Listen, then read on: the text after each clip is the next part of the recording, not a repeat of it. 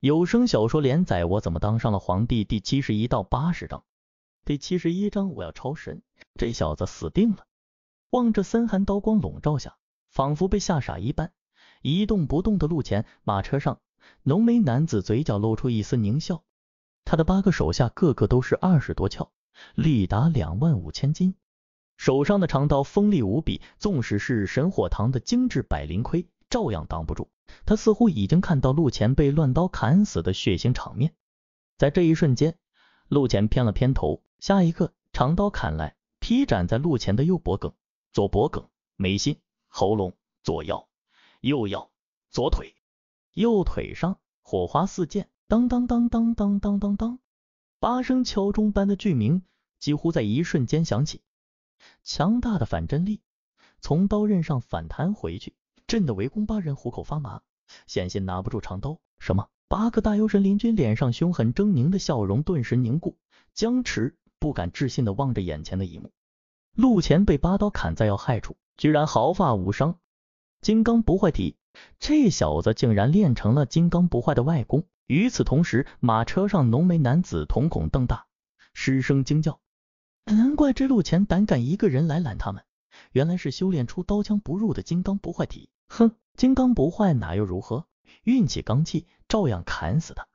浓眉男子冷哼一声，一声令下。就在这时，陆前猛地抬起无情双眸，冷漠吐出一句话，道：“不是你们这样用的，你们不配拿刀。”话落，他左手一抬，抓住砍在左边脖颈上的长刀刀背，右手竖作手刀，猛地一劈，咔嚓一下，这锋利长刀就被他从中间劈成两截。在拿刀之人还没反应过来的瞬间，陆前左手拿着断掉的刀刃，反手一刀斜斜劈出，刀光如雷电，唰的一下就在这人瞳孔中无限放大，然后一刀砍到他的脖子上，直插进去，噗呲，血液从这人脖颈中激射，喷起三米余高，整个人瞳孔瞪到极大，抽搐了两下就软软倒地，第一滴血，不好，快运转罡气，将这小子劈死。目睹这一幕，其余七人脸色大变，齐齐爆发血气，如同七座火炉轰然燃烧，身上冒起耀眼光芒。随后，长刀往回一收，一撩而上，以开天辟地之势狠狠劈斩下来。这是大幽神灵军的拖刀劈斩之术，很是凶悍，是一种同归于尽、舍弃所有防御的惨烈杀招。刀刃之上光华流转，显然是加持了七人雄浑的罡气。若是被劈中，恐怕连一个坚硬无比的浑圆大铁球都要被劈成千段万段。花里胡哨面对着玉石俱焚的杀招，陆前面无表情的吐出四个字：化起。脚下轰然一震，身上金光闪烁，整个人窜射出去，快如闪电穿云，居然在肩部绒发躲过了七道刀光，纵的金光第六层金电穿云，恐怖震耳的音爆声，这时候才在陆前站着的乍起，震耳欲聋。更是掀起剧烈狂风，直吹的围攻七人睁不开眼睛。不好，这一下让围攻七人心头惊骇，就要运起罡气防守。但就在这时，陆前反身一跃而来，如猛虎扑食，出现在一个大汉身旁，大掌拍出，根根手指粗如萝卜，摁在了这人的后脑勺。下一刻，陆前抓着这人脑袋，狠狠往地上一灌，砰！西瓜爆炸，红白之物乱飞。官道石板被震裂，出现一个小坑，那人的脑袋直接被摁进坑里，只剩下一片后脑盖骨。还没等旁边的人反应过来，陆前一步踏来，一尊白玉巨拳如炮弹般打出，轰击在他的头颅上，砰！头颅轰爆，只剩下一具无头尸身，喷射三米余高的血液，双杀。但陆前的身形依旧没有停下，一脚震裂大地。身体一冲，宛如蛮牛冲撞一般，撞击在不远处的大汉身上。这人直接被撞得当场飞起，在半空中狂吐十几斤血，就如同被奔驰如电的高铁迎面撞中一般，显然已经五脏破裂，死的不能再死。三杀，大杀特杀。紧接着，陆前在众人惊骇的目光之中，如双鹰展翅，飞扑到五步外的神林军大汉面前，五爪如钩，猛地一下扎在这人喉咙，咔嚓一扭。这人脖子就被扭折成九十度，当场气绝而亡。瞬间完成四杀，主宰比赛，寂静，死一般的寂静。剩下的四个神林军士兵，还有马车上的浓眉大汉，望着眼前的一幕，皆是目露惊骇之色，双眸瞪大。这怎么可能？四个二十多窍、久经杀伐的神林军将士，居然就被陆前这一个八窍的小子给弄死了，还是砍瓜切菜一般，没有半点反抗之力。不由得，他们望着如同杀神般的陆前，眸中生出一丝恐惧。不对，这小子力量之雄浑。凶猛强悍，堪比龙象，起码是五万斤，甚至是六万斤的力气。这小子绝对还修炼了增长肉身力气的神功。浓眉大汉惊喝一声，醒悟过来，难怪他的手下毫无抵挡之力，就这么轻松的被弄死了。你还算有点眼光。听到这句话，陆前冷漠无情的轻哼一声，随手一扔，就将手上的尸体丢出去，如同丢掉一件抹布一般。浓眉大汉见此。脸色无比阴沉难看，冷声吩咐道：“神林君听令，服下暴血丹，运转罡气，跟他拼罡气消耗。这小子才十八岁，纵使修炼刀枪不入，神力无穷的功法，罡气绝对很少。等他罡气枯竭，杀了他，为兄弟们报仇。”是。剩下四个神灵君怒吼一声，从腰囊掏出一颗大如荔枝的黑色丹药，一口吞下。顿时，四人体内发出哗啦啦江水激荡的声音，血气剧烈运转，阳刚之气逼人，宛若一座座小火山，瞬间融化四周白雪。这黑色丹药是用来爆发血气的，药效过后有很大的副作用，但能让人血气充足绵长，持续战斗，是军中常备丹药之一。驾！就在这时，一声怒喝响起，那浓眉男子一甩马鞭，居然拉着马车逃跑了。陆前今日之仇，来日定报，你就等着我大游飞天境高手来终结你的性命吧！陆前刚想追，那个凶神恶煞的神灵军将士就拦在他身前。车里到底装的什么？陆前冷冷问道。哼，杀！四人没有回答，极其冷哼一声，冲杀过来，身上血光罡气闪耀交织，很是赤亮耀眼。想跟我拼罡气？好啊，我成全你们！看着冲杀过来的四人，陆前目中浮起冰冷杀意，一双拳头上丝丝白金光芒萦绕流转。这时，第一个人冲到面前，长刀之上刀芒流转，狠狠劈斩下来。在罡气的加持下，刀芒锋利，削铁如泥。几乎在同一时间，另外三把大刀迅如闪电，同时砍来，封锁住陆前退避的所有空间。电光火石之间，陆前出手了。他垂在双腰两侧的拳头猛地弹射而出，宛如毒蛇出洞，瞬间打出四道拳影，轰击在砍来的长刀上。拳影之迅猛，宛若星河滚滚，长江滔滔，大气磅礴，无可匹挡。星河破钢拳，只听得当当当当四声巨响，长刀之上剧烈一颤，刀芒瞬间崩散，被击溃四溅。神灵军四人只觉得一股澎湃无量，宛如大海巨浪的罡气冲入刀身。排山倒海，将他们加持在刀身上的罡气全部冲掉。随后，六万斤的力量反震回来，直震得他们虎头一痛。不可能，我们加持十五个穴窍的罡气，怎么可能被破了？这小子罡气怎的如此雄浑？好厉害，好凶猛的拳法！这是赵玄机的星河破钢拳，快躲！四人心头翻江倒海的震撼，神色无比震惊，如见鬼魅一般，就要闪躲开去。想走，迟了。陆前冷笑一声，脚触如电，啪啪啪啪，四声之后，四个神灵军将士面容扭曲，情不自禁的张嘴发出一声凄厉尖叫，手上的刀再也拿不住了，掉在地上。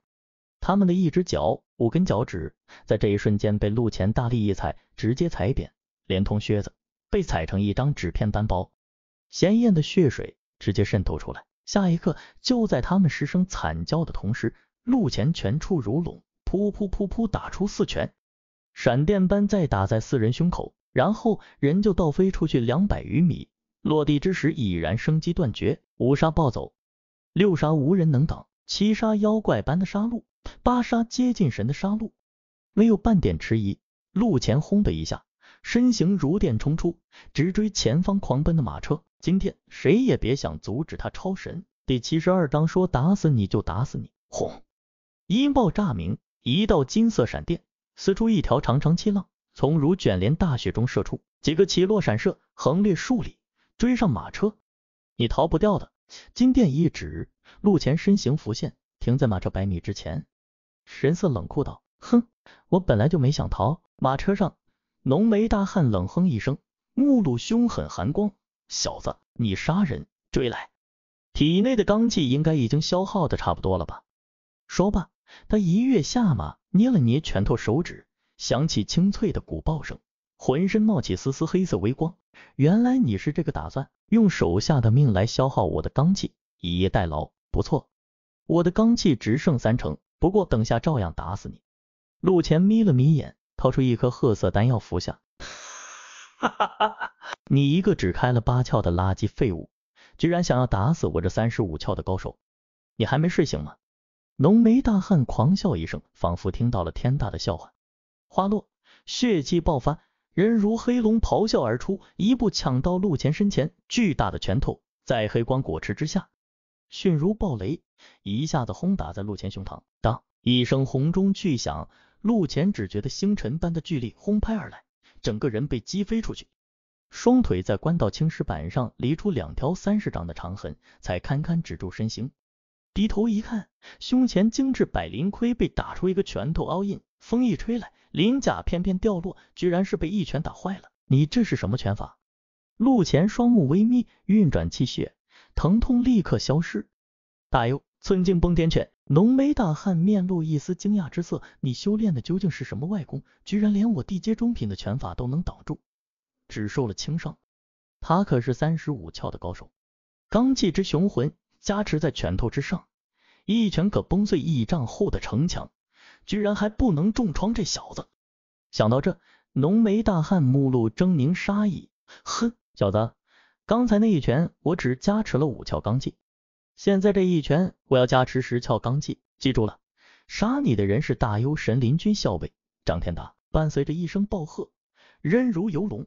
威如猛虎，一下子窜射到陆前身前，拳头之上闪耀着刺目黑光，直轰胸膛正中。这一拳至少加持了十五窍的罡气。面对如此凶猛攻击，陆前神色一冷，居然不闪不避，全身白光闪烁，同样是一拳轰击出去，直打胸膛而去。拳头之上白光炽亮，找死！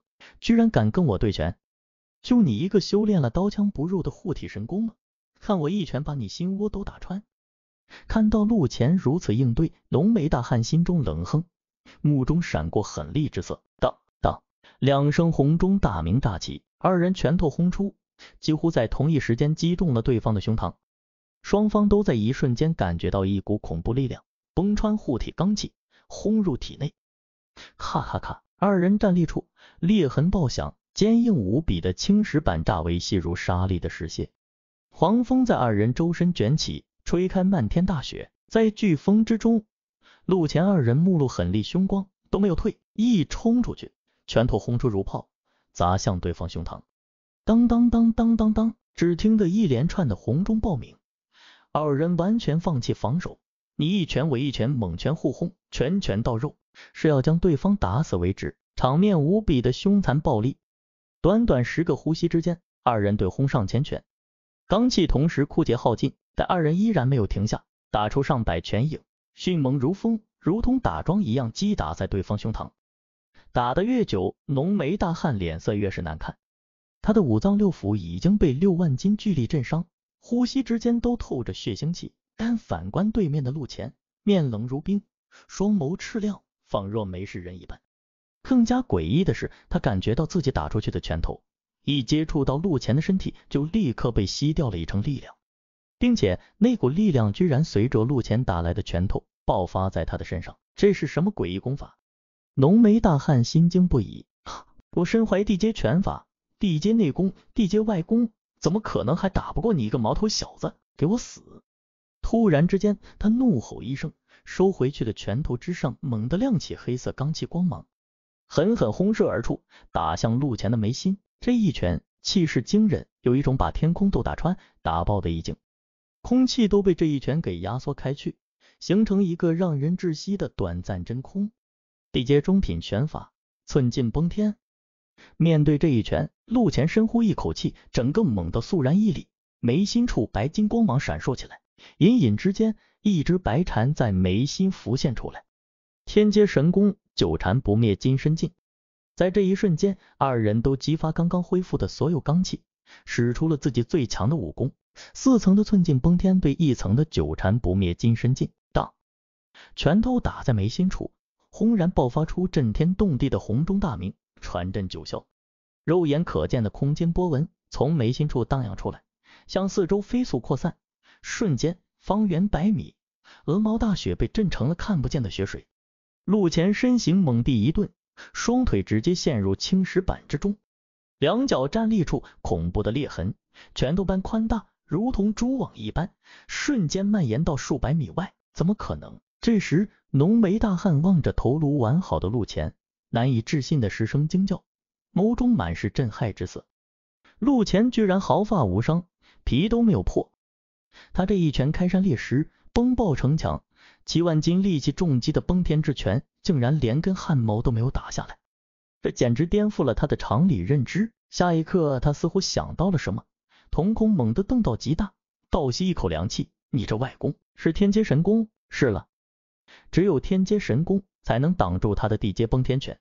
你知道的太多了。”陆前冷冷吐出一句话，猛地一伸手，抓住敌在眉心的拳头，五爪如钩，狠狠一抓，咔嚓几声。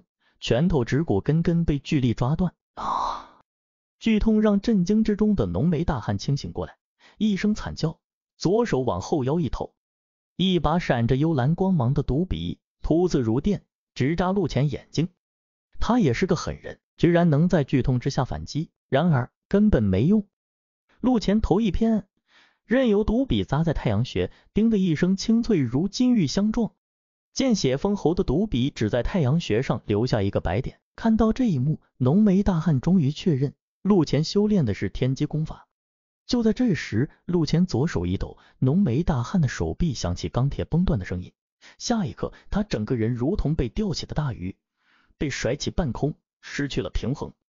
不等他调整身体，陆前从碎裂的石板中拔腿，一步踏出，拳头如同穿云破日的巨剑。一下子轰打在大汉的喉咙处，噗！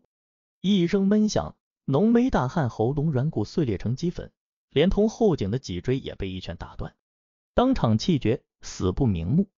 整个软绵绵的，如同一条死鱼，被陆前提在手上，说打死你就打死你，你偏偏还不信。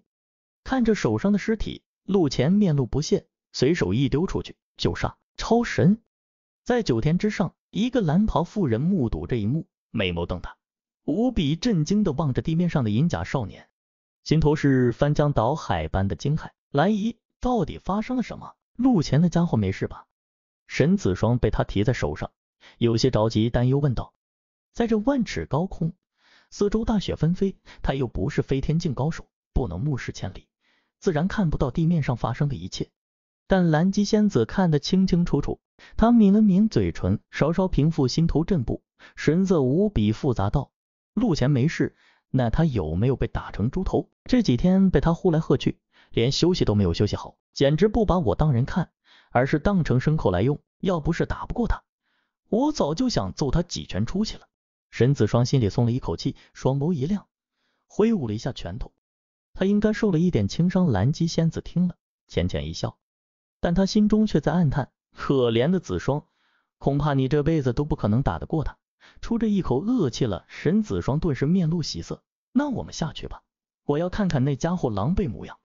好，蓝姬仙子轻轻点头，整个人迅如流星，直坠大地。第七十三章又领一张好人卡。看着二人的出现，陆前眉头一抬，张口哇的一下喷出一口乌黑淤血。沈子双本来是面露幸灾乐祸之色，但一看到这个情形，神色一变，惊呼一声，脚尖轻点便飘了过来。陆大人。你不要紧吧？我这里有一颗疗伤丹药，三仙草丹，是极品疗伤丹药。我没事，只是吐了一口淤血而已。你来的正好，清理尸体吧。陆前微微一摆手，打断道：“哼，陆扒皮。”沈子双一听，冷哼一声，但四下一看战斗的痕迹，心头不由得一凛。这慌轰乱炸过的官道，怎么看都不像是一个开了八窍的罡气境弄出来的。反而像是四五十窍的罡气境高手生死搏杀过一般。就在此时，陆前一跃而出，落到那马车之上，掀开马车车帘一看，映入眼帘的是三双满是恐惧、害怕的乌溜溜大眼睛。三个五六岁的幼童缩成一圈，躲在马车逼仄的铁笼里，面带泪痕，弱小、可怜、无助，被拐卖的小孩。陆前双目一眯，目光扫过三人衣着，这两男一女，三个小孩，一个是绫罗绸缎，一个是粗糙麻布，还有一个衣着甚是华美精致。绝对是出自富贵之家。陆大人，你修炼的是哪一门神功？这时，蓝姬仙子飘来，传音入密：大罗寺久缠不灭金身劲。陆前头也不回，淡淡答道：反正都已经被看到，瞒不了了，那也无需隐瞒。再说，他是故意显露神功，震慑一下这位飞天境高手。久缠不灭金身劲，八百年前大罗寺的镇寺绝学，不是已经被大幽皇族得去了吗？蓝姬仙子闻言一震，美眸微微睁大。陆前没有回答，弯身钻进车厢，双手一掰，就将铁笼的笼门生生掰碎。出来吧！他皱眉吐出三个字。闻声，三个孩童微微颤抖了一下。别怕，这个人穿着的盔甲我认识，是镇抚司的捕头，我们得救了。这时，那个身穿华美衣裳的胖嘟嘟女童颤声道了一句。说完，她拉着另外两个男童钻出了铁笼，情不自禁的。他们三个往陆前身边靠了靠。这天地风雪太大，温度太低，但在血气阳刚雄浑的陆前身旁，温暖如春。我是沙水县镇抚司银牌捕头陆前，你们是被拐卖抓来的吗？叫什么名字？陆前神色稍缓，目光落在女童脸上。这女童脸蛋肉嘟嘟的，虽然沾了些灰尘，但见她细皮嫩肉，宛如剥壳鸡蛋，绝对是娇生惯养的富贵子弟。听到陆前的话，三个孩童脸色害怕之色瞬间减少了许多。那个穿着绫罗绸缎的男童更是往前一扑，抱着陆前的腿，呜哇一声嚎啕大哭起来。他这一哭，那个穿着麻衣的黝黑男童跟着抽噎起来。我叫璎珞，他叫阿牛，这个爱哭鬼叫李三花，都是他，每次遇到点芝麻大的事就哭，惹怒那群凶神恶煞的家伙，害得我们没东西吃。饿肚子听到哭声。女童皱了皱鼻子，轻哼道，声音清脆如珠落玉盘，很是悦耳好听。这话一出，那个李三花哭得更大声了。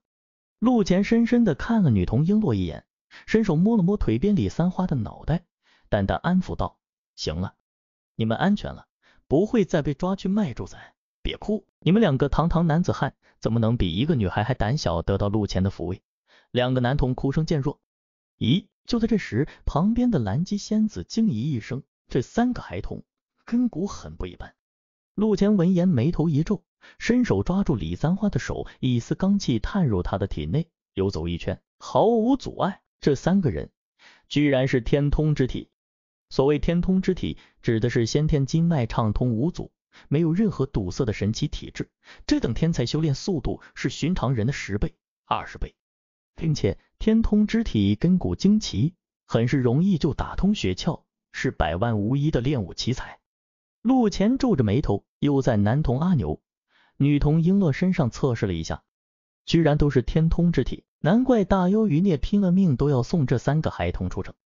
若是没有猜错的话，这三个孩童是大幽余孽准备培养的绝世天才，等他们成长起来，刺杀赵玄机，这世上。唯有武圣才能打败武圣。吴清找上干人牙子买白的白力狂，目的就是为了四处搜罗练武奇才。陆前目中金光闪烁，低头问道：“你们三个还记得自己家在哪里吗？爹娘叫什么名字？”“我我家在幽州，在一朵好大的云下边。”李三花抢先开口，用手比划了一下。陆前眉头一皱，望向阿牛。阿牛咬着下嘴唇，眼珠转动几下。随后抬起头来，一脸怯生生道：“我我不记得了。”陆前眉头皱得更紧，转头看向璎珞。璎珞挠了挠头，狡黠眼珠乱转一通，一摊手道：“哎呀，我也不记得了。这小鬼绝对记得。”陆前一眼看穿，但此刻刚救出人，也不宜逼得太紧。行，我先带你们回沙水县镇抚司，你们进马车吧。这披风你们一起盖着，暖和一点。说罢，他解下披风。递给三人，多谢大人。璎珞学做大人模样，给陆前拱手作揖，嘻嘻笑着接过披风，随后便拉着阿牛、李三花钻进马车里。沈子双，你来将他们送回镇抚司。陆乾沉吟了一下，转头喊道：“不行。”话音刚落，璎珞胖乎乎的脸蛋从马车里探出来。大人，我们只跟着你，其他人不信。说着，他悄悄捏了捏身旁李三花的手臂。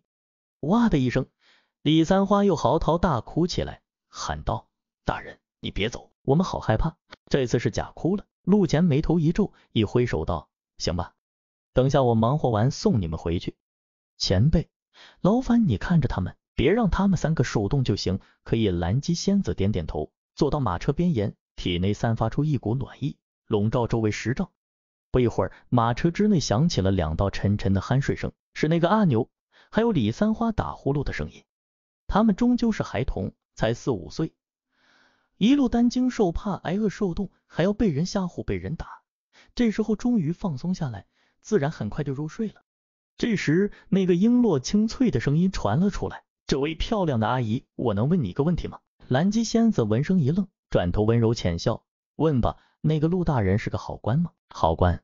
蓝姬仙子转头望向正在磨尸体的陆谦，脑海里蹦出了一连串的成语：见钱眼开、贪财无厌、脸厚如墙、颠倒黑白、一权谋私、抠门吝啬、嘴臭如毒，感觉想不出一个好词啊。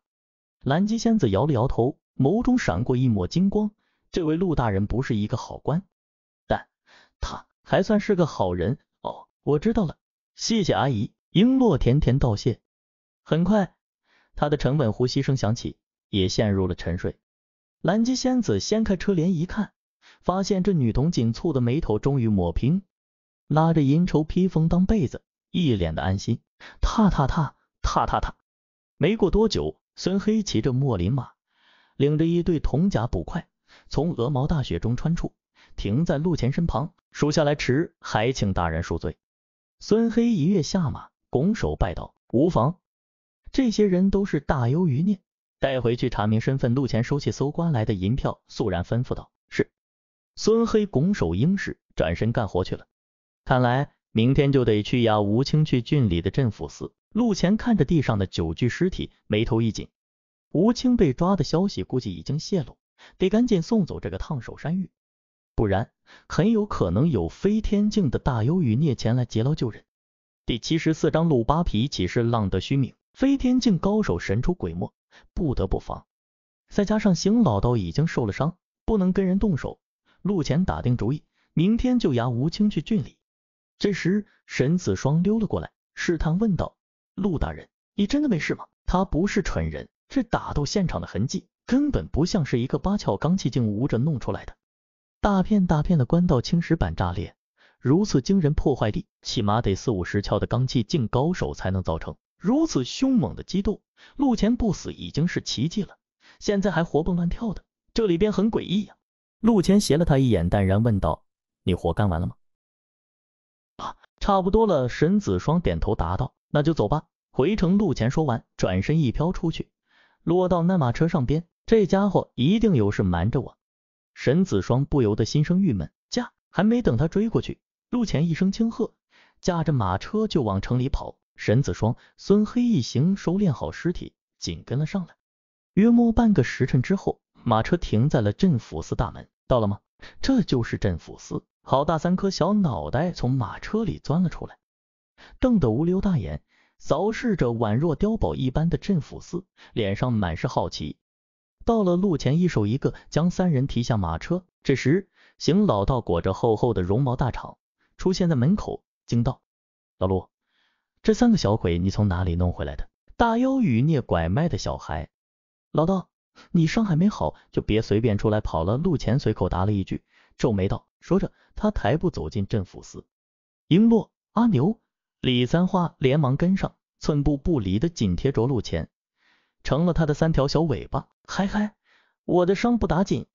咦，你气血虚浮，呼吸之间微微带有血腥之气，受伤了？谁弄的？邢老道神色一凛，大妖余孽吴清的手下，一个神灵军校尉，他的寸劲崩天拳有点厉害。不过经此一战，我也知道我有多厉害了。陆前轻咳一声，目光锐利如剑。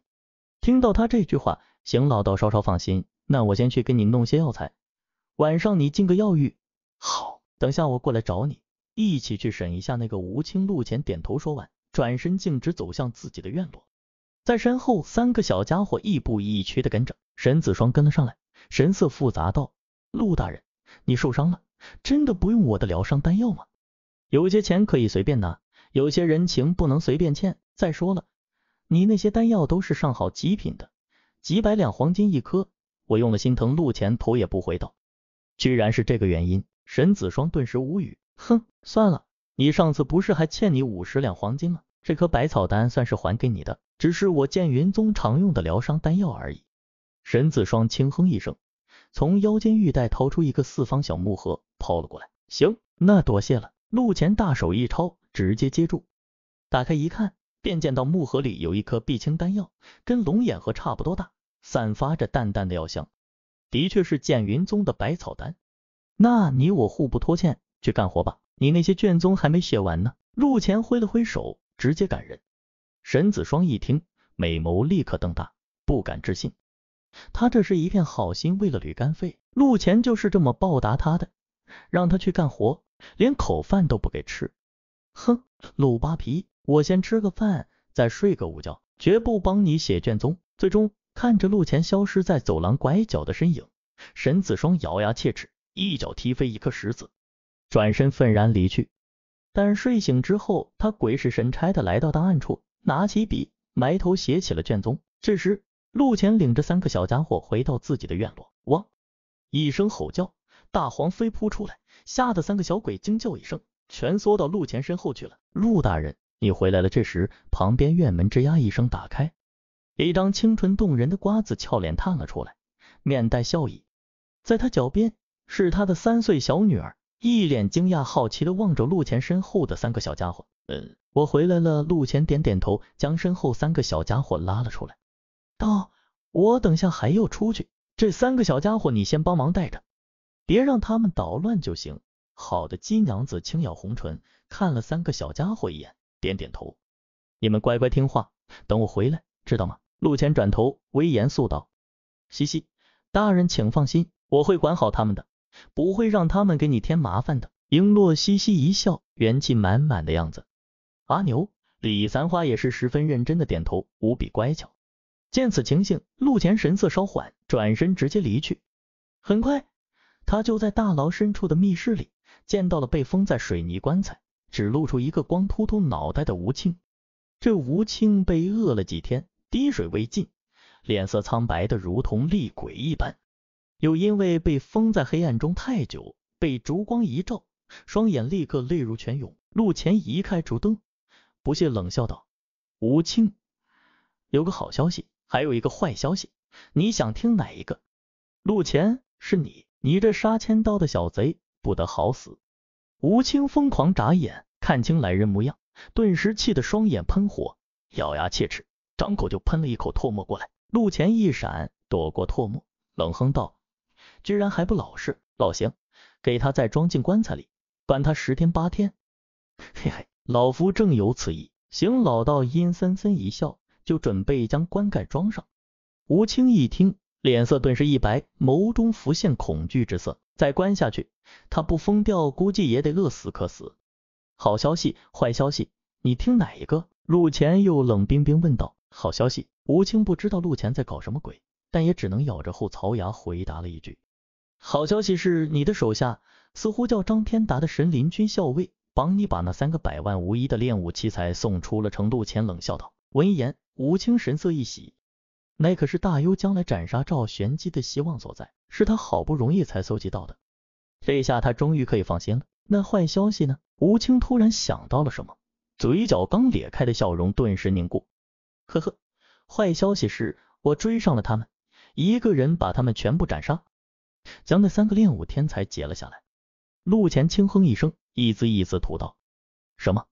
陆前，我要杀了你！”吴清一听，双眼顿时煞红，恨不得当场将陆前生吞活剥。但下一刻，他脸色一变，惊疑道：“不可能！张天达三十五窍，又修炼了地阶内功、地阶拳法、地阶外功，你区区八窍怎么可能打得过他？谁说我是八窍的？”我早已经打通了二十五个穴窍。陆前不屑冷笑，血气一运转，雄浑阳刚的血气将吴清当场震慑。那也不可能，张天达再加上八个二十多窍的神灵军将士，你二十五窍又如何？罡气消耗完毕，你必死无疑。吴清冷哼一声，斩钉截铁道：“这世上并没有什么不可能。”吴清，你看看我这个是什么？陆乾冷冷笑着，天阶神功运转起来，淡淡白光立刻浮现体表，眉心处一只拇指大小的白蝉印记浮现出来。这这是白蝉九蝉不灭金身劲，你居然真的练成了！吴清死死瞪着陆乾眉心的白蝉，张大嘴巴。宛若痴傻了一般，脸上满是不可置信的神色。这陆乾居然真的练成了九禅不灭金身境。第七十五章，我有特殊修炼技巧。大幽八百年，天才多如过江之鲫，但练成九禅不灭金身境的，也仅仅是中兴帝、冠军侯、护国长老三人。可想而知，这门天阶神功是多么高深玄奥、晦涩精妙，寻常人根本难以修炼。能够修成这门神功的，无不是震古烁今、镇压一个时代的惊世之才。然而，眼前的陆乾，一个贪婪无厌、卑鄙无耻的小小捕头，居然修成了这门神功，简直是不可思议。吴清震惊骇然之余，越想越气，心中愤愤不平，脑里只有四个字：天道不公。那种感觉，就像高高在上的女神仙子被一个丑陋不堪的乞丐玷污了一样。凭什么这小子能够修成九禅不灭金身境？哦豁，你生气了？陆乾站在石棺旁，盯着吴清，嘴角不禁浮现一丝冷笑。哼，小子，你修成九禅不灭金身境，那又如何？你抓了我，有人会替我报仇的。吴清咬牙切齿，眼中除了怒火，还有杀意。陆乾一听，连连摇头：不不不不，你想错了。你想想，我现在修成了九禅不灭金身境。你猜你们大幽余孽会不会很好奇，我到底是怎么修成这门功法的？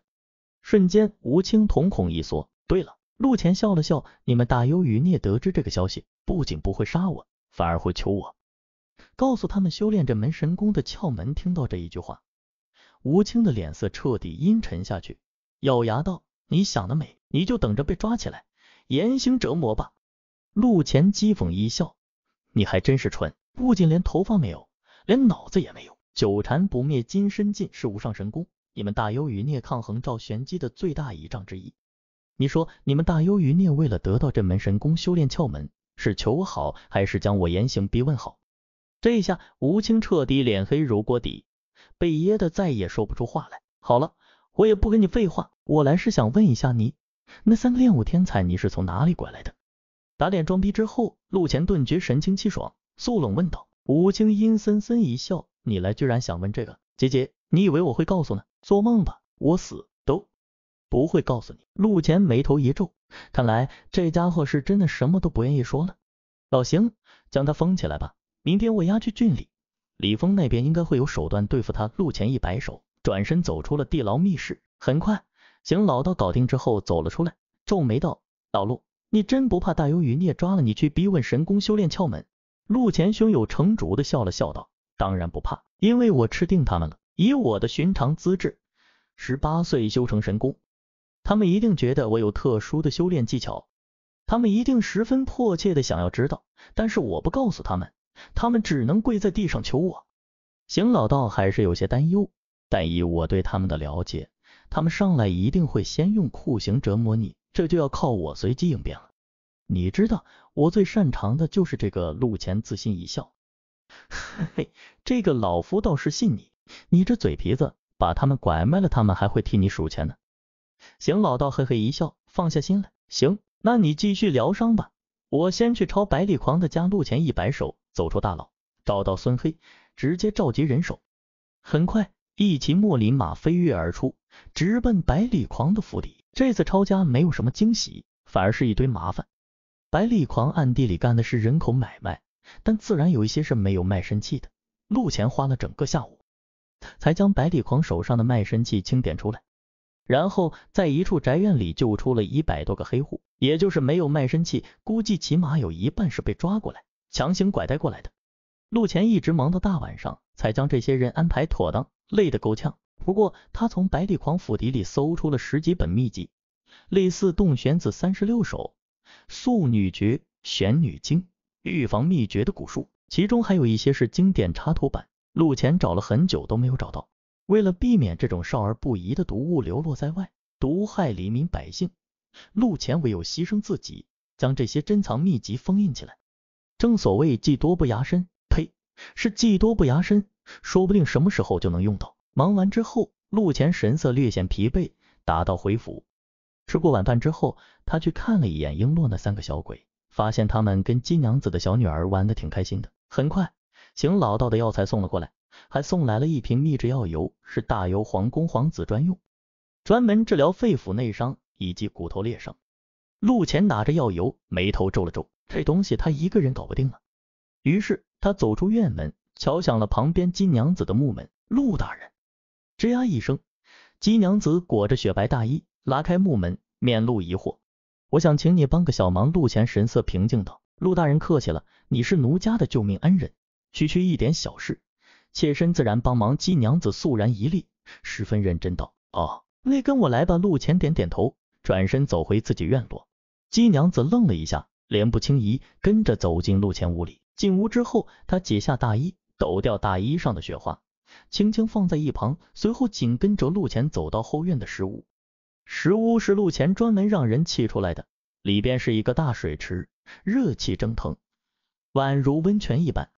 此时，在水池里浸泡着一些药材，水变得有些紫红，空气之中也飘着浓浓的苦药味道。陆前直接脱下银甲内衣啊！姬娘子捂嘴惊呼一声，借着屋内夜明珠的光芒，她看到陆前胸膛前青黑一片，是密密麻麻的拳印，乍眼一看。无比的恐怖吓人。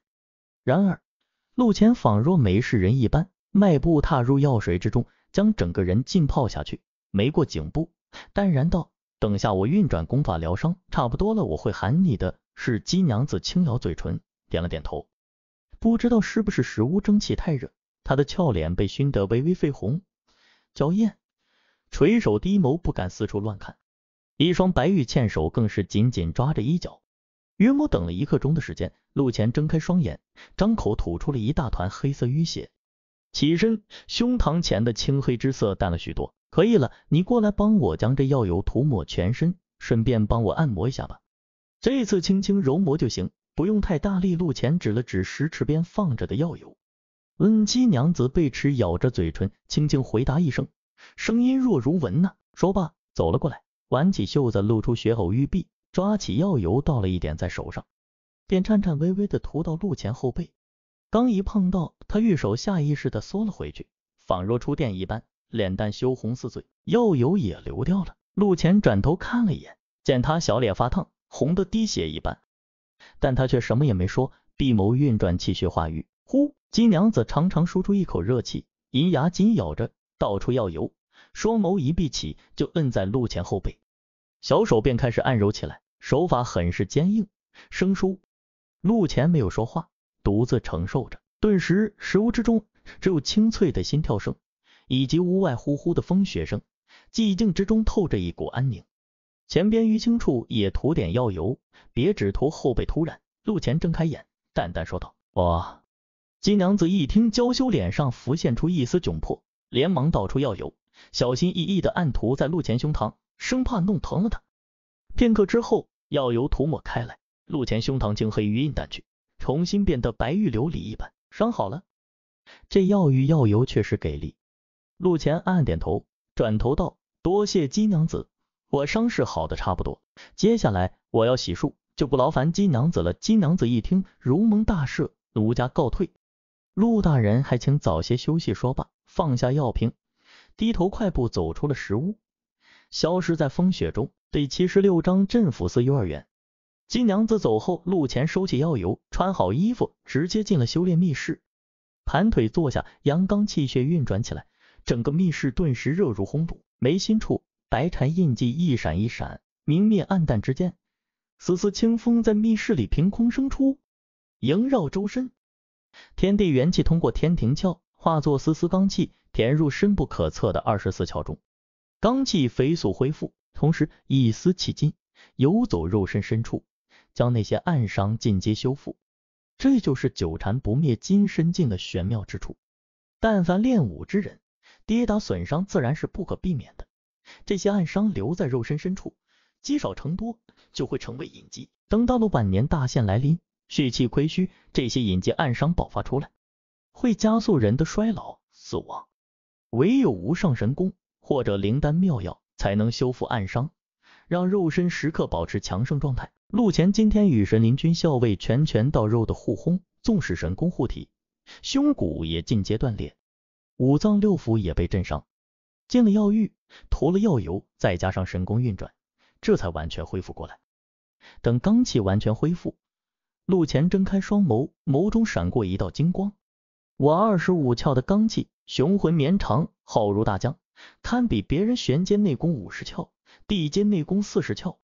再加上九禅不灭金身劲惊人的罡气恢复速度，又能吸收别人内劲打回去，我现在的实力应该还要更强一点。再握了握拳头。六万斤的爆炸力量，磅礴如海。陆前很满意的点点头，他就是靠着九禅不灭金身劲的特性，硬生生打死了那个校尉。这么一来，他现在十八岁，实力已经堪比六七十岁的武者，这次武举应该十拿九稳。不过这次提升实力耗掉大量侠义值，只剩下八点而已。再看看当前任务，追捕流窜在青阳郡内的飞天鼠丁山人，剩余时间三十个时辰。完成任务奖励二十二点侠义值。注意，追捕目标修为罡气境十三窍，还剩三十个时辰。明天去到郡里，看看郡里有没有飞天鼠的情报。陆前定下主意，闭起双眸，陷入熟睡之中。翌日，大雪依旧，寒风呼呼。陆前推开屋门，便见到院里已经堆起半人高的皑皑厚雪。这么大的雪，估计会造成雪灾。等下走的时候，让孙黑去施粥放粮。免得那些乞丐冻死。陆前皱了皱眉，血气轰然爆发，无声无息间，屋顶、院里的积雪飞速融化，仅仅十个呼吸，化作潺潺雪水渗入地里。走出院门，正巧碰见姬娘子领着她的女儿，还有璎珞三个小家伙过来。嘻嘻，草民璎珞给陆大人请安。女童璎珞换上一身白衣，裹得跟粽子一样，脆生生的躬身拜请。他这一动，旁边的阿牛。李三花连忙有样学样，诺声诺气的给陆前行礼请安。陆前点点头，笑道：“你们几个先在这里住下，等下我会将你们的画像送到郡里的。大概一个月内，你们的画像就会传到青阳郡各县，还有四周相邻的郡城。如果你们的亲人看到，自然会寻过来。”三人一听，神色各异。阿牛是满面喜色，李三花是喜极而泣，唯有那个璎珞闷闷不乐。陆大人，你今天不吃早饭了吗？这时，姬娘子脸蛋红扑扑的，白里透粉，很是诱人。嗯，我不吃了，你带着他们三个吃吧。昨夜辛苦你了，睡得可还好？陆浅点头微笑问道。这一问，姬娘子脸蛋更加通红，低头诺诺道：“奴家睡得还好。”话音刚落，拉着她玉手的小女儿便抬头，大大的眼睛里是小小的疑惑：“娘，你昨夜不是睡不着吗？”像条菜青虫一样拱来拱去的刷，姬娘子脖子上烧起一片红霞，直接红到耳根，好似要滴血一般。见此，陆前哑然失笑，转身摇头离去。没走多远，他便见到一脸精神不振、在打哈欠的沈子双。咦，璎珞、阿牛、李三花、姬娘子的女儿，还有这个智商不足七岁的沈子双，我这镇抚司成幼儿园了。陆前愣了一下，属下拜见陆大人。这时，沈子双也看到了陆前，双眸一亮，一蹦一跳就跃了过来。嗯嗯，免礼免礼。陆前上下打量了沈子双一眼，神色有点怪异。陆大人，你今日要去郡里吗？我不用去。沈子双试探问道。嗯，今天你放假，免得你天天在背后骂我。陆扒皮。陆前神色恢复正常，轻哼一声。听闻此言，沈子双吐了吐舌头，心里还是觉得有点奇怪。这陆前今天怎么这么大方？居然放他的假，不过也好，正好借此机会逛一下这沙水县。陆前也懒得理他的小心思，出了镇抚司门，召集人手，将封着吴清的棺材抬进马车，准备出发。大人还有什么吩咐吗？镇抚司大门前，孙黑走了过来，拱手问道：“嗯，有两件事。”陆前点点头：第一，天降大雪，或成灾祸，有些乞丐可能会冻死、饿死，你让人加紧巡逻，顺便施粥放粮。第二，你在四处城门口贴一张告示，属下记住了，等下就着手去安排。告示的内容是，孙黑肃然点头，问道：“出售拍卖谢安平、周宏元、百里狂的家产。”陆前淡淡吐出一句话，这让孙黑还有旁边的郑茶、齐天下、苗高硕三人微微一震。他们本以为陆前会直接吞掉这些家产，没想到居然会拍卖出去。难道是想直接换成银两，装入自己的口袋？这时，陆前又说道。在告示最后再加一句：这次拍卖所得尽皆用于沙水、河源、飞云三线铁牛飞车建造。属下明白了。孙黑双目大亮，精神一振。他早就听说铁牛飞车了，那是数十个大铁箱连起来，形似蜈蚣的铁车，以人力推转前进，在铁轨之上飞速奔驰，速度不下于墨林马。若是沙水、河源、飞云三线建起一条铁牛飞车路。出行运货都会方便许多。那我走了，有事去找邢老道。我的印章也在他那里。陆前拍了拍孙黑的肩膀，转身一跃上马。随着他一声令下，莫林马飞奔起来，几下功夫就消失在大雪之中。出了城门，陆前一行在官道上肆意狂奔起来，力图在中午之前到达郡城，将吴清交给李峰。这时，郑茶骑马跟了上来，拱手问道：“陆大人。”这铁牛飞车路确实是好，但建起来却是费钱又费力。你这为的是什么？为了赚钱？他确实很好奇。来沙水县的这几日，陆前给他印象最深，心机过人，算无一策，简直聪明到令人发指。但也见识到陆前的贪财，同样令人发指。难道这铁牛飞车路还能赚大钱不成？陆前听到他的疑问，笑了笑，道：“赚不赚钱，我不知道，但其实也不重要。”郑大人如果有关注京城方面的消息，就应该知道，自铁牛飞车现世以来，以京城为中心，向着四周扑出去，密集成网。正所谓十军之路，单军之忧。陛下想要做的事情，我这做臣子的自然也要出力。郑察闻言，瞳孔一缩，浑身一震，居然是因为这个。这时他终于明白，为什么陆前是李峰的心腹，连星河破钢拳都传授给他了。光是这一份远见。这一份八窍玲珑之心，不传给他，传给谁？陆大人厉害，老夫佩服佩服。日后有空的话，不妨来老夫府上坐一坐。老夫有个外孙女，如花似玉，早就听闻陆大人的威名，心生仰慕了。郑茶拱了拱手，心中生出惊叹钦佩，哈哈一笑道：“金鳞岂是池中物，一遇风云变化龙。”在他看来，陆前就是那条头角峥嵘的金鳞。那些世家弟子根本比不上。对于郑茶的好意，陆谦点点头，应了下来。他十八岁了，在这大选也该成家立室，不然天天夜里去敲寡妇门，很容易那道门就不关了，等他进去呢。至于沈子双，陆谦摇摇头，表示对幼儿园小朋友智商的女人不感兴趣。第七十七章荡尽天下不平事，一路奔袭，并无意外。终于。陆谦一行在晌午前赶到了郡里的镇抚司。李峰听到他的到来，直接出门迎接，依旧是一身银衣，精神矍铄，面光红润，完全不似一个接近两百岁的老头。属下拜见李大人。陆前飞身下马，拱手便拜。啊，陆前，你哪用得着跟老夫这么客气？李峰哈哈大笑，扶起陆前，目中闪过一道金光。咦，士别三日，当刮目相待。你这小子精气之强壮雄浑，出乎老夫的意料之外。他是飞天境高手，一眼就察觉出陆前的不同。属下另有其遇，等下便跟大人禀报。陆前笑了笑，心里暗暗点头。神功就是神功，飞天境高手居然也看不透他的真正实力，不愧是天阶功法。很好，我们进去再说。李峰神色一袭，拉着陆前走入镇抚司。正茶，齐天下。苗高硕三人扛起那水泥棺材跟了过来。很快，一行四人来到一处守卫森严的客厅。砰的一声，郑查随手将水泥棺材扔到地上，轻轻一拍，棺盖碎裂，显露出吴清的脑袋。李峰走过来一瞧，大赞一声：“果然是大游神林君吴清。陆前，这次你立了大功，我一定在密报之中写明你的功劳，替你向陛下邀功。”嗨嗨。大人，这次我还惹了一点小麻烦。陆前拱拱手，轻描淡写道：“什么小麻烦？”十七皇子顿时，李峰神色一肃，挥了挥手：“正茶。”齐天下三人见此，拱拱手，扛着武清离开客厅，顺带关上了门。说吧，究竟是怎么回事？李峰坐到一张子木椅，一脸的凝重。陆前点点头，便将谢安平的事简单说了一遍。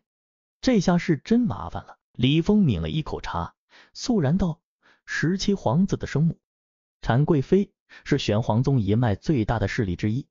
十七皇子纵使不出手对付你，但下面的人为了揣摩营上，也会给你下绊子。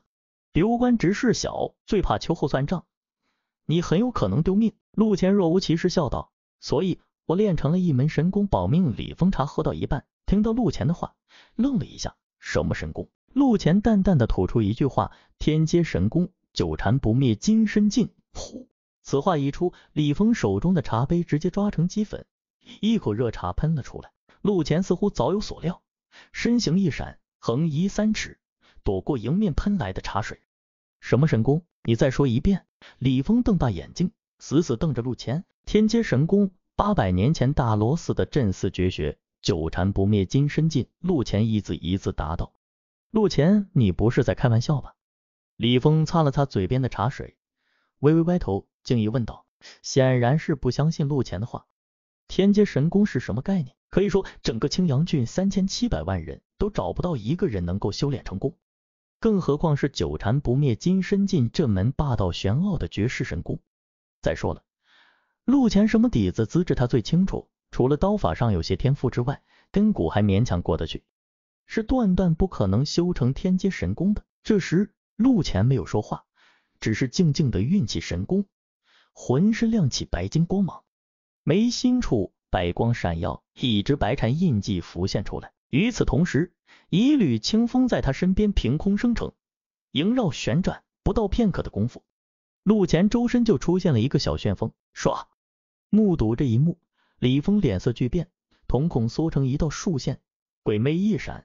仿若瞬移般出现在陆前身前，大手一下子抓了下来，摁在眉心处。片刻之后，他面露骇然之色，收回了手，倒吸一口冷气，元气漩涡，道观入体。没有白禅，你开了天庭窍，你真修成九禅不灭金身境了。这一句话，声音都有些颤动，可见其内心极度的震惊。这又是另外一段故事了。陆前笑着点头，收起罡气，将自己得来虎纹印章。遇到白狐女子被种下炼心蛊的事情说了一遍。李峰听闻，神色无比复杂，最后叹了一句：“老夫真没想到，短短几天，你这人生经历竟如此精彩，简直宛如说书人口中的神话故事一般。”随后，他用一种看怪物的眼神看着陆前，又问道：“不过，你真的修成了九禅不灭金身境？”还独自一人打死八个二十窍的神灵军将士，紧接着又打死一个三十五窍的神灵军校尉。是的，陆前点点头。李峰闻言，神色感慨，看着陆前无比惊叹。沉默了数息，他开口又再次问道：“你真修成九禅不灭金身境？”是的，陆前面无表情答道。李峰仰天感慨一声，捻着颌下短须沉吟顷刻，又开口道：“陆前。”你真的修成了一门天阶神功，大罗寺的镇派绝学九禅不灭金身境，这货是复读机吗？陆前直勾勾的盯着李峰，久久才吐出两个字：是的。李峰仰天悠悠长叹一声，刚要开口，陆前神色一冷，立刻打断道：“李大人，我陆前牛逼，真修成天阶神功了。没错，就是绝世一等一的无上神功，拳打剑云宗宗主，脚踢飞天关关主。”揍的白月流光山山主下不了床的九禅不灭金身劲。嗨！李峰一听，轻咳了一声，连忙说道：“陆前，这话可别乱说，有人会找你麻烦的。”说罢，他直勾勾盯着陆前，眸中金光闪烁，不知在想些什么。陆前静静等着，并没有开口说话，厅中陷入了一时的寂静。片刻之后，李峰指了指旁边的椅子，和蔼一笑，道：“坐吧。”陆谦点点头，坐了过去。李峰也坐回主位上。笑道：“陆前，当年你拦路自荐，给我戴了一顶高帽。我看你人聪明伶俐，便让你进来镇抚司，一路看着你长大，一直是把你当做半个养子。你的确也很聪明，帮了不少忙。不过现在你身怀天阶神功，这消息一传出去，你便身不由己。你明白了？我明白。李大人想帮我安排一条路，然后陛下得知此事，也会替我定下一条路。陆前回答道：“你说的不错，但关键是你想走哪一条路？”李峰目光锐利起来：“我的打算自然是将你安排在镇抚司，为我左膀右臂。但陛下应该会将你接到京城，你会成为御林军的一员，最终说不定会娶一个公主，贵为驸马，走上人生巅峰。”说到这，李峰笑了笑。但也有可能死在皇权斗争之中。陆前皱眉道：“不错，你看得很清楚。木秀于林，风必摧之。你身为大玄第一个，也是唯一一个十八岁的绝世天才，修成天阶神功，你将万人瞩目。但欲戴皇冠，必承其重，你也将受到明枪暗箭、流言蜚语。老夫可以断言，你一定进了京城，十有八九活不到成为飞天境高手那一天，说不定。”你会某天被人发现死在京城某个角落的臭水渠里。李峰说完，眸中闪过一丝黯然，似乎回忆起什么伤心往事。听到这一番话，陆前皱紧眉头，缓缓转动着左手拇指上的碧玉扳指，陷入了沉思。很快，他双眸一亮，拱手拜道：“李大人，我想留在镇抚司，步步高升。”哦，为何？李峰脸上浮现出一丝喜色。一来是报当年大人赏识之恩。陆前神色一冷，眯眼道：“二则，我要凭我手中三尺清风，荡尽天下不平之事。”这一句话斩钉截铁，掷地有声，震得李峰双目大亮。好好一句荡尽天下不平之事！李峰轻喝一声，抬桌而起：“老夫这就为你写密信，三千里加急送入京城，为你谋一道护身符。”说罢，他身形一闪，刮起一阵狂风。来到大厅角落的书桌，执笔沾墨，铁画银钩，飞速撰写起来。第七十八章李峰的麻烦。砰！紫红官印盖上，金漆密封。来人！李峰大喝一声。吱呀！客厅大门被推开，一个身穿银甲的精壮大汉走进来，拱手一拜，速将此信送入京城，三千里加急，不得有误。李峰肃然命令道：“是。”精壮大汉闻言，神色一紧。双手恭敬接过密信，放入怀中，转身走出大厅，关上大门。陆前也有些惊讶，三千里加急是大玄最高级别的文书传送，有官道的地方骑墨临马，没有官道的地方直接让飞天境高手横越山脉大河，披星戴月赶路。这么一来的话，这封密报大概十天半个月就可以到京城，出现在大玄皇帝赵玄机的案牍上。陆谦，你便放心吧。老夫已经以性命做担保，为你请了一道护身符。如无意外的话，陛下会赏赐一件飞鱼斗符给你。有这一件飞鱼斗符护身，十七皇子的人不会动你的。李峰目露金光，自信满满道。陆谦一听，神色肃然一拜。陆谦多谢李大人救命之恩。飞鱼斗符类似黄马褂的存在，大玄立国二十多年，也总共才赏出去三百四十二件，拥有一件。那就是龙恩护照，光宗耀祖的荣誉。若是真得了这一件飞鱼斗符的赏赐，十七皇子还真不敢轻易动他，更别说什么郡守了。不过飞鱼斗符还不是最厉害的，更厉害的还有特蛇斗符、麒麟斗符。特蛇斗符赏赐的都是当年从龙有功、立下赫赫战功的强者，也才送出去五十件。麒麟斗符更少，就仅仅有三人得此圣恩。哈哈，你留在镇抚司就是对老夫最好报答。李峰哈哈一笑，话锋一转，不过你这九禅不灭金身境的修炼法门，终究还是要交出去的。你要有这个心理准备。陆前闻言一摆手，没有半点不舍。无妨，这神功我也会交出去，谁能修炼就给谁修炼。这天阶功法太过玄奥，没有系统外挂，恐怕他穷极一生也修炼不出来。八百年下来，也才三个人修炼成功，交出去也不用怕将来有人用这门神功来对付他。再说赵玄机也不是小气的帝皇，他得了九禅不灭金身劲，自然也会给点额外的赏赐。你能这么想，老夫也就放心了。不过你的神功玄妙，终究还是难以隐藏，得先找个办法遮掩一下，免得那大妖余孽听到消息找上门来。李峰皱了皱眉头，陷入沉思。片刻之后，他目光一闪，道：“玄黄宗有一门地阶上品的内功，是为玄黄龟身大法，练成之后也是金刚不坏，神力无穷。日后有人问起，你就说自己修炼的是这门神功吧。玄黄龟身大法也好。陆前点点头，直接应了下来。那么你现在的实力究竟如何？李峰目露金光，盯着陆前问道。陆前笑了笑，大约相当于玄阶内功五十窍，地阶内功四十窍。李峰一听，开怀大笑道：“哈哈哈，这下好了，老夫终于可以出一口恶气了。”哦，陆前不由得挑了挑眉。这时，李峰一拍桌子，冷哼一声道：“你也知道，这青州有五大世家。”分别是姓韩、方、刘、远、曹这五大千年世家，在立国之时出了一点力，势力日渐壮大。镇抚司刚设立之时，他们就塞了不少人进来。偏偏这些家伙占着一堆位置不办事，不然老夫也不至于让你们九个肉身境巅峰来当手下，分管二十八县。原来如此啊！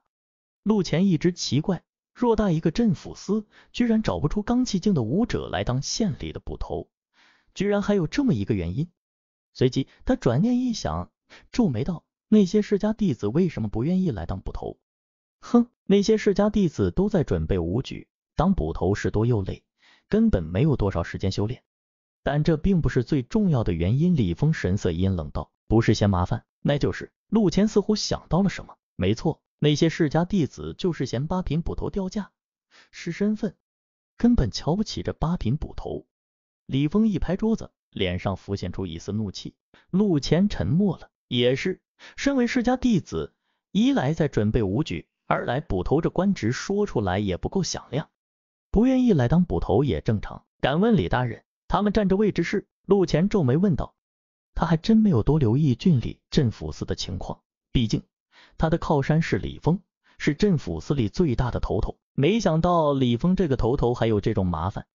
开春之后，三年一次的武举即将进行，镇抚司有一百零八个名额可以直入州市，根本无需经过郡里的府试。这下你明白他们站的是什么位置吧？李峰越说越是愠怒，陆前的脸色也唰的一下冷了下来。他也是要参加武举的。现在镇抚司居然有这种福利，那岂不是说他的位置要有可能被挤掉？这武举可是关乎他日后的躺着赚钱计划。这时，李峰又冷哼道：“原本我想让你打磨几年，再去参加武举。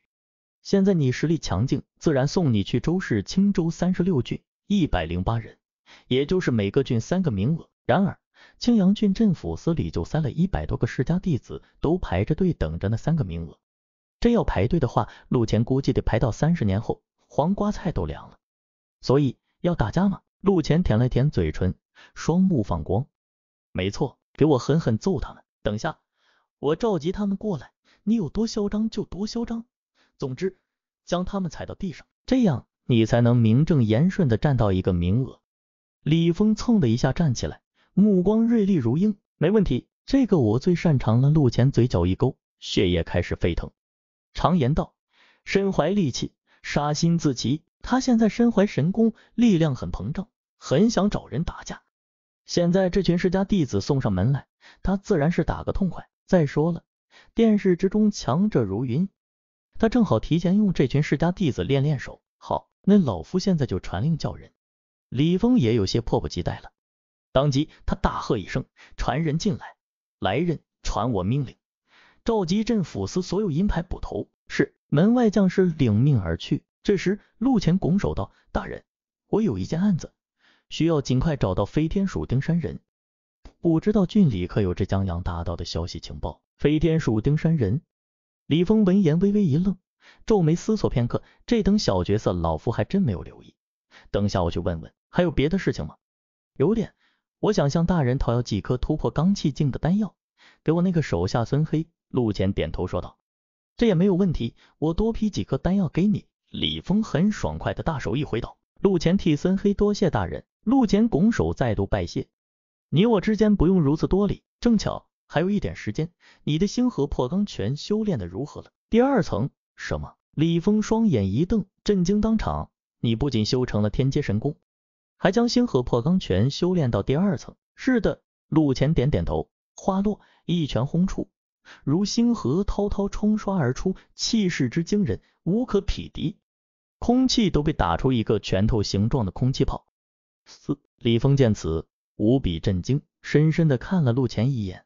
我知道你有秘密，不过这都不是什么事。来，既然你修成第二层，那我就传你第三层的修炼诀窍，看好了。说罢，李峰一步踏出拳位置，一股压迫已经笼罩过来。拳意，星河破钢拳第三层，居然能够修炼出拳意。陆前顿时一惊，全神贯注，开始观看起来。与此同时，一个个银牌捕头接到命令，都开始赶往镇抚司。其中就有一个阴寿老者，赫然是陆前的老对头薛捕头。薛叔，第七十九章，静静看着你装逼。一个时辰之后，镇抚司练武场站立了数百名银牌捕头，这些人个个战力如枪，血气旺盛，气息巍峨，俱是罡气境武者。如此之多罡气境武者集聚，天上飘下的鹅毛大雪还没落地，就直接融化成雾。再细看一眼，隐约之间，这数百人分成了三个团体。那些自有一番气度、谈吐颇有礼仪的，似乎是世家弟子，大约一百八十人；另一边则是正茶、齐田下、苗高硕这样的，面带煞气，目光冷漠、咄咄逼人，约莫五十人。剩下那二三十人，则是面带傲意。高人一等的样子，三群人之间如泾渭分明，互不干扰。很快，陆前也走进练武场。正茶几人一看，连忙扬了扬手。陆前面露笑容，一步窜跃过去，朝三人微微一拱手：“来来来，诸位，这位便是李峰大人器重的陆前。”正茶笑着向四周介绍了一番，众人也都对陆前点点头，友好一笑。他们早就听说这位陆前天赋惊人，十八岁便突破罡气境。可谓是年轻有为，前途无量。一番寒暄之后，陆前也差不多认完人，心中暗暗点头。看来他们都是李峰的心腹，来历很复杂，有小门派出身的，有寒门子弟，也有江湖散修。那边眼睛长在额头上，谁也瞧不起的是那边的人。陆前目光一转，望向另一边神色倨傲的银甲捕快。呵，那些都是玄黄宗出身的人，被发配到镇抚司。自然是高人一等。正茶冷笑一声，抬手一指左边，这些就是世家弟子。世家也分三六九等，小的世家三百年，大的世家五百年，更古老的世家千年不灭。你看那个精气异常惊人的少年，就是五大世家之一，方家的天才。方云顺着目光望去，陆前不禁眉头一挑。在世家弟子里，有一个身高八尺，面容冷峻、俊逸不凡的年轻人，约莫二十一二岁。被不少人众星拱月般围着。听说方公子已经打通第三十个窍，简直惊世骇俗。看来周氏第一名非方公子莫属了。林公子说的不错，方公子才二十岁，三十个窍，又身怀地阶上品内功，这周氏小武状元定然是囊中之物，唾手可得，说不定还能在殿试之中大放光彩，赢得陛下赏识呢。方公子，明天我与周兄几个准备去踢馆。不知你有没有空一同前往？听到这些吹捧，那个方云只是淡淡的点点头，说道：“诸位客气了，明日我与韩家小姐切磋武技，试试我新练成的地阶剑法，实在没空。”此话一出，周围之人皆是一震。地阶剑法，莫非是方家祖传的星月蝴蝶剑？有人惊叹道。方云点点头，没有说话。顿时，四周响起一片倒吸冷气的声音。望向方云的目光饱含敬畏、钦佩。啧啧，地阶上品内功在身，三十窍已开，又练成地阶剑法，试问谁还能是方公子敌手？这次方家又要出一名武探花了。旁人艳羡道：“天下英才如果将之际，这武探花在下不敢说十拿九稳，但武进士却是胸有成竹。”方云傲然道。这一句话，顿时又让四周之人连连吹捧。陆前就静静的看着他装逼，摇了摇头。这时，在世家子弟中，一道阴狠如蛇的目光穿过人群，盯在陆前身上。此人是个阴寿老者，正是那个被小妾戴了翡翠玉冠的薛捕头。薛叔，莫公子，那人便是陆前。薛叔阴森森的对旁边一个高壮大汉道。高壮大汉面容粗犷，长眉如剑，好似战场上的将军，透着一股一往无前的锐气。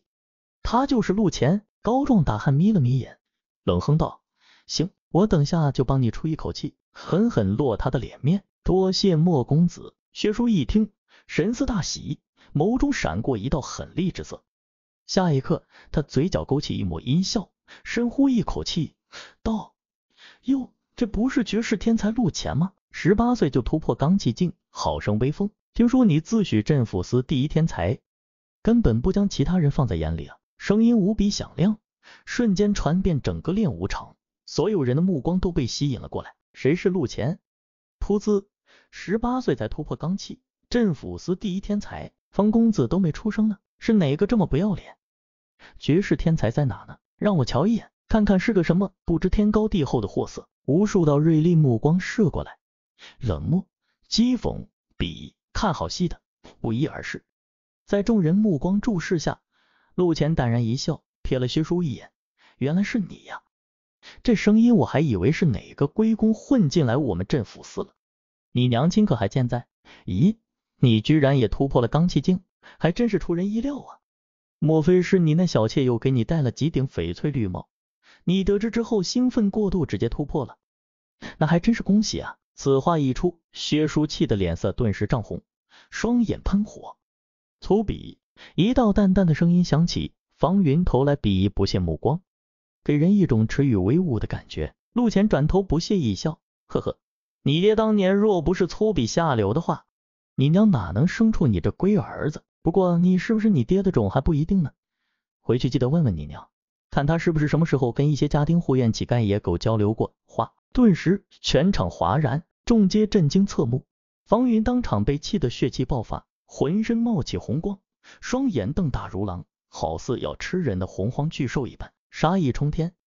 站在陆前身旁的郑茶等人连连退后几步，免得吸引火力。隐藏在暗处准备看好戏的李峰也不禁瞠目结舌，暗暗惊叹：这小子嘴是真的臭，真的毒。他活到现在还没被人打死，真是一个奇迹。大胆放肆，竟然如此侮辱方公子！这时，不少人大义凛然的出声呵斥。陆前顿时成为众矢之的。目睹这一幕，那个薛叔阴恻恻一笑，得罪了方云。这次陆前绝对没有好果子吃，于是他小声对旁边的高壮大汉道了一声。高壮大汉一步如箭，站到场中，对陆前道：“陆前是吧？听说你不久前就突破罡气境，想来手上功夫也不错。正巧李大人还没有来，我们等着无聊，不如来玩个小游戏，看看你手上功夫是不是跟你嘴巴一样厉害。方公子，你觉得如何？”乐意至极，只不过就怕某个胆小如鼠。嘴臭如粪坑的家伙不敢应战。方云目光眯了眯，寒意森森。好啊，陆前当场答应，神秘一笑。不过我向来不玩没有赌注的游戏，就不知道你们敢不敢赌？赌注？听到陆前信心十足的话，众人皆是眉头一皱。好，我跟你赌这一把流星剑。方云神色冰冷，猛地一拔腰间长剑，唰，长剑出鞘，如月出云，透着一股摄人心神的清冷。在剑身之上纹刻着星星点点的剑纹，很是精致。剑锋森寒，一看就是削铁如泥的锐利。这把流星剑乃是我族中祖传宝剑，三尺厚金刚一剑斩断，价值万金。你拿什么来跟我赌？方云持着宝剑，冷冷盯着陆前，目光透着不屑。要不你输了的话，给我当三个月奴才，你敢吗？第八十章想叫我认输？三个月的奴才？众人听到方云口中吐的话，都知道此刻他是气到了极点。哪知道陆浅只是淡然一笑，轻飘飘的掏出一沓金票，扬了扬，万金而已，谁拿不出来？我跟你赌了。众人顿时侧目，微微惊讶。方云眉头皱了皱，目光依旧寒冷。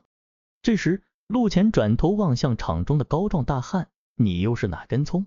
居然跟薛叔这等喜欢戴翡翠绿帽的家伙混一起？”话出。薛叔勃然大怒，喝道：“陆乾，你别血口喷人！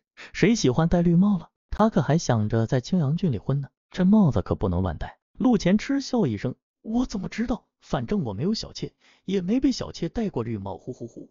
这下薛叔是咬牙切齿，双眼喷火，手握着腰刀，恨不得当场抽出，劈死陆乾这丫的！陆乾，别废话了。此时场中的高壮大汉剑眉一挑，沉声道。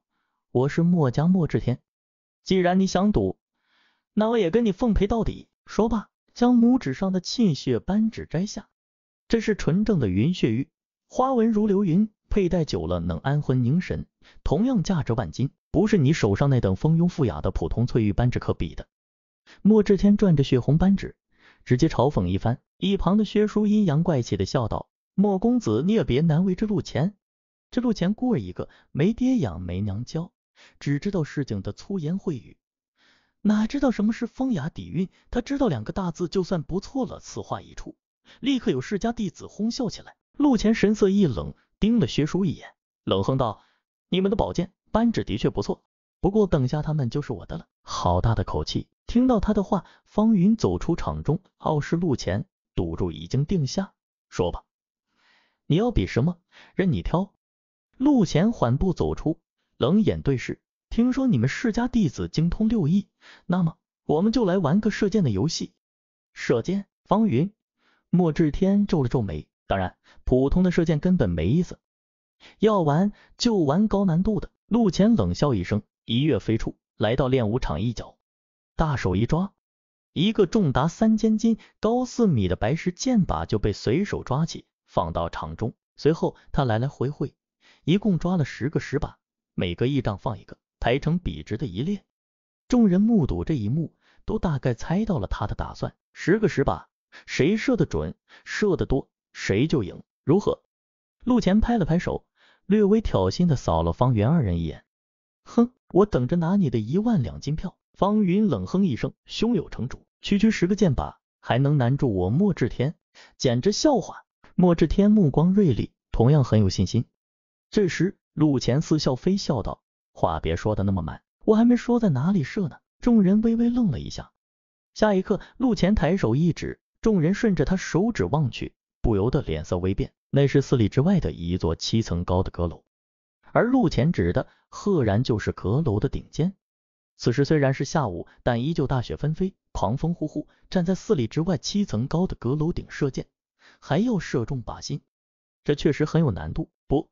对于方云他们来说，几乎是不可能做到。陆前，输不起就输不起，你何必耍这点小心机呢？薛叔阴恻恻的冷笑道：“你弄这个出来，谁都办不到，不就是想弄成平局？则老夫还真以为你真有胆魄，没想到就只是嘴巴厉害，真叫人瞧不起。”此话一出，立刻有世家弟子附和：“没错，你若真堂堂正正的比一场，我倒高看你一眼。”没想到你居然如此输不起他就是个孤儿，估计眼里只有钱，没有信义。哎，算了算了，何必跟他这么一个小人计较？平白拉低我们的身份，如此无耻之人，简直是可笑，太可笑了！听到这些嘲讽话语，陆前淡然一笑，不屑一顾。这些人连做他对手的资格都没有。哈，我镇抚司好久没有这么热闹过了。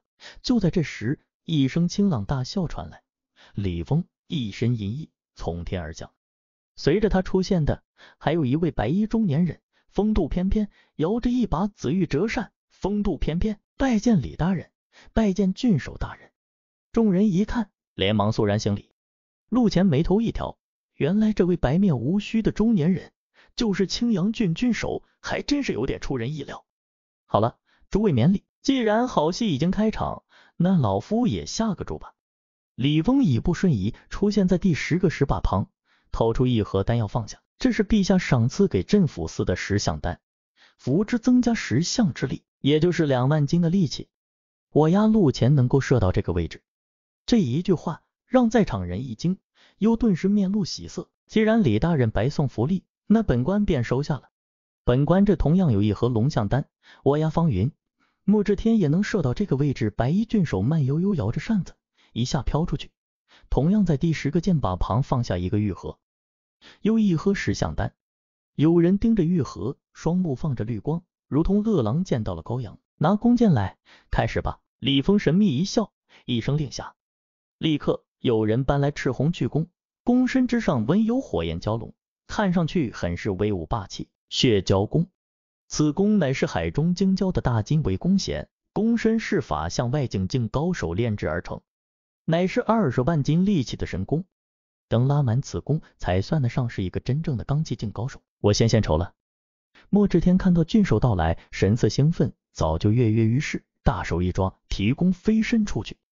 几下齐落，他就跳上阁楼，稳稳站在七层高的阁楼金顶上，显露出精妙高深的身法。呼呼呼，狂风呼啸，风雪吹眼。呵！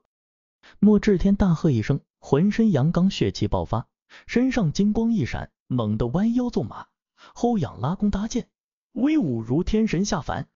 随着他脸色越长越红，浑身金光炽盛如日，显然是爆发了十二成的力量。然而血蛟弓也只拉了七成满。嘣一声弓弦炸响，空气爆鸣，黑色利箭激射而出，宛如一道闪电，穿破空间的限制，轰然击中第一座石靶。噗噗噗，利箭洞穿九个石靶，最终擦着第十个石靶的边边飞射出去，掉落地上。好，薛叔当场拍掌叫好，众人也暗暗点头。刚才那一箭穿云破日，精准十足，可见莫志天的修为。剑技都达到一个超人的水准。两位大人，晚辈献丑了。莫志天飞跃回来，落到场中，拱手便拜，神色之中透出丝丝傲意。这一剑他相当满意，简直是超水准发挥。若能精持猛进，尽是可期。白衣郡守颔首一笑，点评道：“晚辈定然努力。”莫志天闻言，神色顿喜，再度拱手拜谢，起身望向陆前的目光之中透着丝丝蔑视。我来试一试。这时，方云抓弓，几下纵跃，登顶阁楼之上，同样的爆发血气，体表浮现出暗金色的罡气，流转到双手之上，弓弦一点一点拉开，最终居然拉开了九成满。屏住呼吸，三息之后，手猛地一放，咻，长空啸响，箭如星光划过苍穹，快到突破了时间距离的限制，眼球险些捕捉不到箭的轨迹，几乎在一瞬间，噗呲一声响起。黑色利剑穿破十个石靶之后，飞出一百余米，才堪堪掉落下来。众人定眼望去，不由得一惊。前八个石靶靶心处有一个拇指大的小孔，第九个石靶偏离了一丝，第十个石靶偏离了半个巴掌，高下立判。顿时，世家弟子尽皆喝彩。莫志天脸上笑容一滞，有些难看。很好，比你父亲当年在电视演示剑技的时候还要厉害。军守面露满意笑容，开口称赞道：“多谢军守称赞，父亲当年只不过是有些紧张，失了水准，我是万万比不上的。”飞射回来的方云拱手道谢，随即他抬手，目光一转，落到陆谦身上，冷道：“你是直接认输，还是丢光脸面再认输？”